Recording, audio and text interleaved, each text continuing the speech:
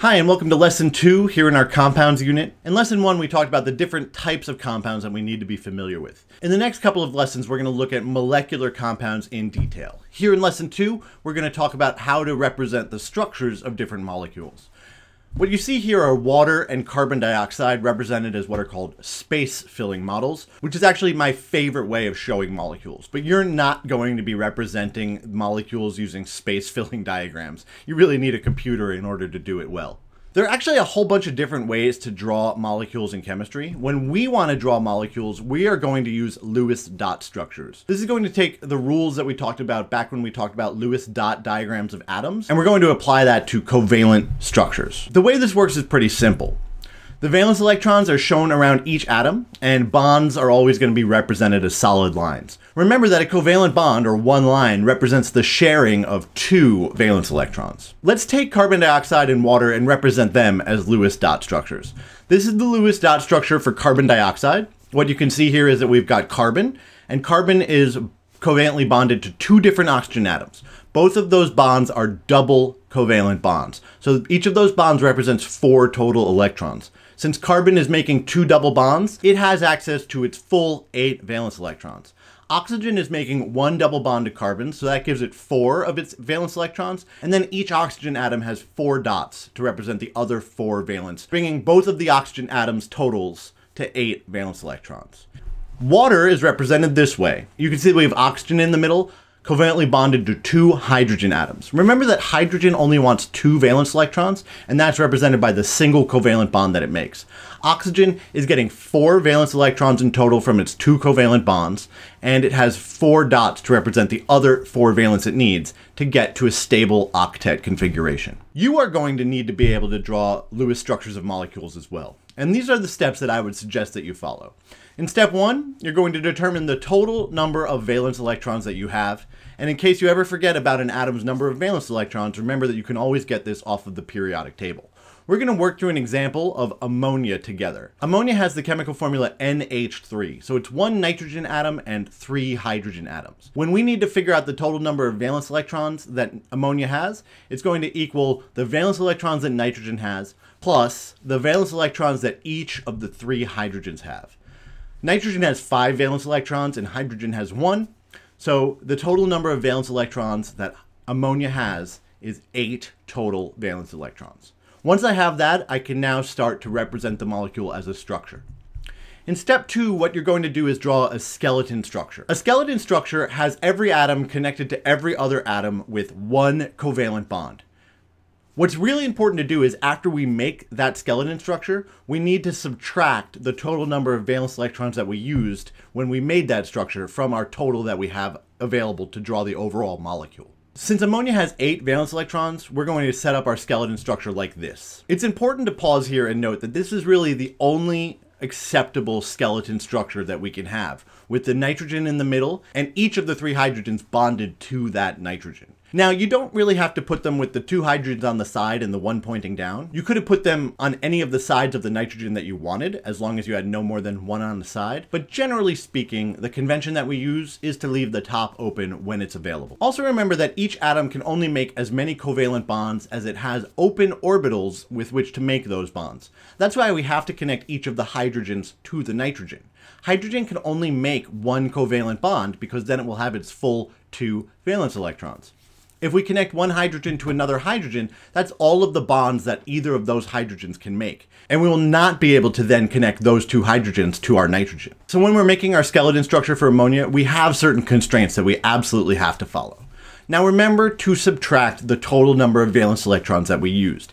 Each covalent bond represents two total valence electrons. So I've used three covalent bonds here, so I need to subtract six total electrons from my eight. I now have two valence electrons that remain. In step three, we need to satisfy all of the valences that we have. We're going to use the remaining valence electrons to make sure that every atom has access to a full valence electron shell, which is usually eight electrons except two for hydrogen. Looking at the molecule that we've drawn already, we have three hydrogens, each one making one covalent bond. That one covalent bond represents two total valence electrons. So each of these hydrogens has the two total valence electrons that they need.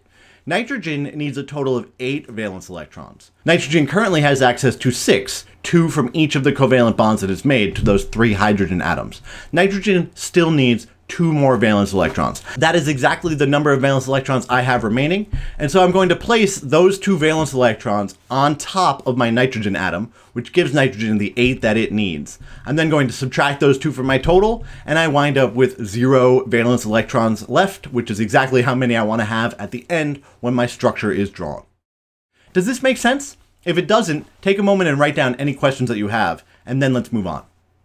There are a couple of covalent structure pro tips that I'm going to pass on to you here. These come from my history of drawing covalent structures and from dealing with students who run into the same kinds of issues year after year. Pro tip number one is that every atom can only make as many covalent bonds as they have open valence orbitals for. We talked about that when we did our ammonia structure with the hydrogen atoms, but it's a good idea to remember that so that you don't wind up drawing an oxygen atom making three covalent bonds, for instance. Pro tip number two is that atoms can only have single, double, or triple bonds. You cannot make a quadruple covalent bond. An atom can make up to four covalent bonds if it has the ability to, for instance with carbon, but those four covalent bonds have to be some combination of single, double, and triple bonds in order to add up to four. The quadruple bond does not exist. And my final tip to you is that if you ever need more valence electrons than you actually have, you have to make an additional covalent bond. That's really the only way that you're going to be able to draw a structure where everybody has the total number of valence electrons that they need if you're ever dealing with this kind of situation where you, it seems like you need more electrons than you have access to. Let's look at an example of diatomic nitrogen or N2 and see how we can use these rules in order to make our structure. So N2 has 10 valence electrons, each of the nitrogen has 5. I'm going to draw my skeleton structure, and you can see it right here. I've got a nitrogen covalently bonded to another nitrogen. I've just used two valence electrons. I now have eight that remain. Both of these nitrogens currently have two total valence electrons, and they both need a total of eight. So right now, I would need to get each of these nitrogens an additional six valence electrons. Since I have two atoms, 6 plus 6 is 12, and I do not have 12 valence electrons available. I only have 8. That's where pro tip number three comes in. I'm going to need to make another covalent bond. When I do that, let's subtract the two electrons that I just spent. I now have six total valence electrons remaining, and each of these nitrogen atoms currently has access to four, and they still each need four more. Four plus four is eight. I don't have eight, I only have six. I'm going to need to make another covalent bond between the nitrogens. That is a triple covalent bond. Notice that nitrogen can absolutely make a triple covalent bond because it has five total valence electrons. It's looking to get three more. So rules one and two are being followed when I make this structure. Since I just used two more valence electrons to make my triple covalent bond, I need to subtract the additional two electrons. I now have four remaining. Each of these nitrogen atoms has six total valence electrons currently from that triple covalent bond. Since both of these nitrogen atoms just need two more valence electrons each, and I've got four left, I'm going to put those as dots on both of my nitrogen atoms. I'm then going to subtract four more valence electrons from my total, which leaves me with zero. This is an acceptable Lewis structure for diatomic nitrogen, N2. Does that make sense? If it doesn't, take a moment and write down any questions that you have, and then when you're ready, let's move on. Thanks so much for watching our discussion of drawing Lewis structures for covalent molecules. Take a moment here at the end and make sure you can do each of the following. Make sure that you can draw valid Lewis dot diagrams for simple covalent molecules. Molecules that are made out of two, three, four, five, maybe six or seven atoms. That's really where my expectation of what you can draw stops for the purpose of honors chemistry. But if you can draw those, you can probably draw more complex molecules as well. Also make sure that you can identify valid and invalid Lewis dot diagrams for simple covalent molecules. If you see a molecule where an atom is making five covalent bonds, for instance, you should be able to reject that right out. The other thing that we'll mention here at the end is that practice is really, really important for being able to do things like drawing covalent structures. We're going to be doing quite a bit of practice on this in class, but I've also provided some practice resources on my website where you can go if you want to get more practice drawing structures. The more you do this, the better you'll get until you get to the point where it's all automatic, at which point you know everything you really need to know. If you can do these things, you're doing great. If not, that's okay too. Take a moment and write down any questions that you have. You can always get in touch with me by leaving a comment below the video or through the information in the info field. Thanks again for watching. I really appreciate it. Have a great day.